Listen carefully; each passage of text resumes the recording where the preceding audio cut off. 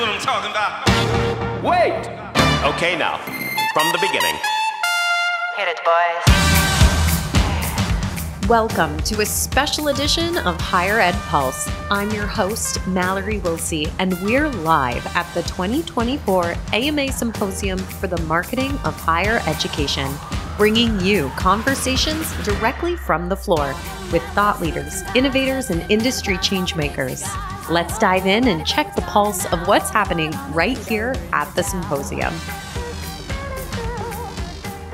Hello, everyone. Welcome back. We are so excited to be here at AMA's Higher Education Symposium. I am here with Joe Master from RW Jones Agency. So tell us briefly your name, title, how long you've been there, some of those kinds of things. Well, thanks so much for having me, Carrie. It's been a, a long time coming, us having this this meeting and here at AMA, which is such a great community gathering. I am the managing director of brand and marketing strategy at RW Jones Agency. Um, I've been there for uh, coming up on a year and a half, and um, you know, I came there to build brands, which is my favorite thing to talk about. Absolutely favorite thing. My my background. I spent 12 years in house at Drexel and Temple Okay. universities, and it was Drexel that really sent me down this path because we got to be the stewards of an actual brand campaign. Yeah. In a sea of enrollment marketing, we were able to actually try to educate the market about an educational model. How cool. Yeah, and that set me on this trajectory. And so, talk a little bit as we were kind of having some prep conversation, Crayola came up. Yeah, Crayola and, and Lego. So, So, tell me more. so I I work with lots of colleges and universities building brands, right? Yeah. And colleges and universities have a problem trying to think about brand in a way that's actually helpful to the entire institution. And what I mean by that is that there are so many parts, there are so many offerings, there are so many features. We as an industry are almost prostrate under the weight of all that we do. Yeah. And in thinking about how to run workshops and talk to colleges and universities about brand, I found myself watching my son. My son loves to color. He's 10 years old and he loves to use Legos. This sent me down a rabbit hole. As all good things do. Yes, a rabbit hole of looking at advertising for children's brands. Okay. And I've gone down rabbit holes my whole career. I've gone down watch advertising rabbit holes. Okay. There's there's there's car advertising, insurance advertising, but there's something about the simplicity, the simple elegance of Lego specifically, and Okay. Crayola too, that really speaks to me, and I think can teach us a, a lot in our sector about, you know, one Lego brick on its own is not a differentiator two, three, four, you put them together and you build something that's distinct. Okay. And when you think about Legos advertising, they celebrate creativity and imagination. You know, that's their brand Yeah. articulation, if you want to call it articulation or essence or whatever. Right. And kids know that without even, you don't need to explain it. So I showed my son, I did this focus group with my son, showed him the Ooh. 2012 Lego campaign, which is basically, it was called the Imagination Campaign. And it was just the, the square Lego bricks built in certain ways that if you, one was the Simpsons, the whole family, one was the Smurfs, Oh, cool. Right. one was the Teenage Mutant Ninja Turtles.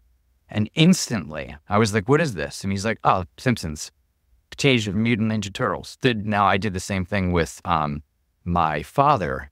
He had no idea what he was looking at. I asked my son, so what does this mean? What does this ad say to you? And he's like, I don't know. I, I didn't even have to think about it. And that is good branding.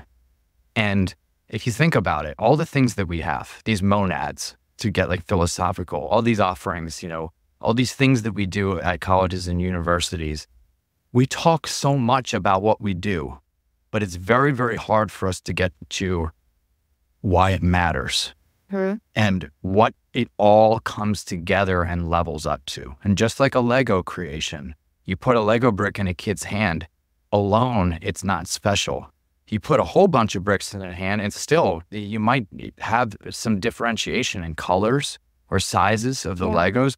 But when you put them together and build something that is distinct, And there is an immediate to me like analogy to higher Yeah. education where it doesn't have to level up to a tagline Mhm. and oftentimes we want to go there first but it has to level up to something and and that thing we can call it a big idea we can call it a brand essence we can call it a creative pod i don't care what it is it can include all of the offerings but we don't have to say all the things So, as higher ed leaders, you know, that's one of the things we talk about at, at AMA in particular is how are we being Marcom leaders? How are we applying what's industry best practice? You know, how are we doing all of those things? And sometimes I think the thing we're faced with, to your point, is trying to say all the things in in an ad or in a, you know, whatever the case may be. How as leaders do we get comfortable and get those around us comfortable with being a little more simplistic and letting people make that ladder up on their own. yeah and the thing is you said simplistic i said simple too we both Yeah. derivations of that word, but it's simply elegant. And and I think that the thing is that we focus so much on marketing. And we all know, those of us who have been in house or are still in house, that marketing can be a bad word Yeah. at our institutions. You know, it can be something that we have to dodge. Can be, you know, these truths. The liberal arts, for instance, are self-evident. Why would we need to market that? But recalibrating the conversation to brand is a much easier thing to do as a leader. It's hard to talk about marketing because that's a tactic. That's a tactical execution that should be done. Yep. But if you put brand at the middle, brand can then become that foundation upon which everything, just like a Lego creation, comes from. Mm-hmm. It's not marketing in a box, it's not your public relations and media relations in a box. It is that brand informing everything and that synergy, that beautiful synergy of everything. Yeah. So, as a leader, I know it's very, very hard to advocate for these things, but recalibrating the conversation, saying, like, okay, this is all of the things we offer, but what does it level up to? At the end of the day, what are we doing here? Who do we serve? How do we serve them? How do we do it in a way that's distinct? And why does mm. it matter right now? And again, I keep going back to a Lego creation. Like it's getting people to see the outcome, the built thing. And that built thing has all of those things that we offer, all those features. But those are affects of the of the soul, a part of what we do. So is that easy for leaders to do? It's it's not. And it should not be on the CMO or CMCO or VP of marketing Right. or communications alone. It's a it's it's Culture. it's on it's on every leader in higher education to to to think like that. Yeah. But it's like seeing the forest for a, a tree almost. Like we are in a lot of ways weighed down by all of these messages that we need to get to the audience segments and we've got personas and that's wonderful and we need that. But talking about brand is is such a great way to recalibrate that conversation. So, you know, one of the things that I love in particular about AMA is that chance to have those 60,000 foot conversations, have those 90 foot kind of reframing moments that change how I think about something. You know, not everything is a tactical session about how to do XYZ, though those certainly have their place. Sometimes it's a deep conversation with somebody about how they're approaching a challenge, or sometimes it's, you know, a glass of wine with somebody digging in on something that I really want to understand how they approach. Talk to me about why, in your mind, professional development like AMA is so important for Marcom leaders. It's almost like you kn- you know a little bit about my background. Professional development is one of the best things about higher ed. Higher ed develops people. Now, we can say, let's be honest. I want to be honest. Higher ed cannot pay as high as other verticals can. For sure. When I hired web developers, I knew that down the street in Philadelphia, Comcast could pay double. But you hire people and you develop them. And that's not just tactical, you develop their leadership skills too.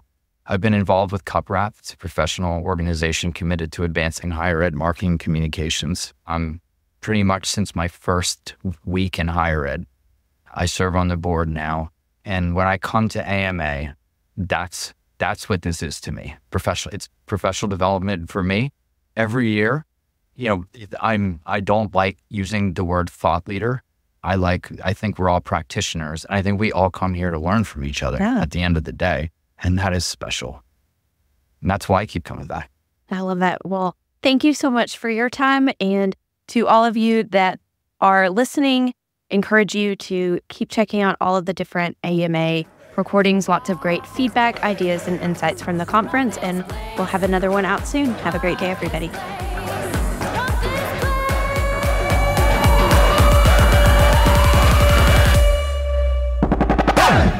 The Higher Ed Pulse is part of the Enrollify Podcast Network. If you like this podcast, chances are you'll like other Enrollify shows too. Our podcast network is growing by the month, and we've got a plethora of marketing, enrollment, and higher ed technology shows that are jam packed with stories, ideas, and frameworks, all designed to empower you to be a better higher ed professional. Our show helps higher ed marketers and admission pros find their next big idea and features a selection of the industry's best as your hosts. Learn from Brian Gross, Eddie Francis, Jenny Li Fowler, and so many of your favorite leaders in higher ed. Enrollify is made possible by Element 451, the next generation AI student engagement platform, helping institutions create meaningful and personalized interactions with students. Learn more at element451.com.